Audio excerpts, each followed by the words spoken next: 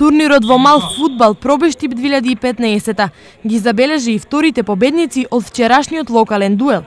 Екипата од група А Белфаст беше подобра од екипата на Бели Брегови и издвои победа со резултат 5-0, додека екипата од група Б Дами пак успеа еднаш да ја внесе топката во голот на противникот и ги совлада Аквапарк Пробиштип со 1-0.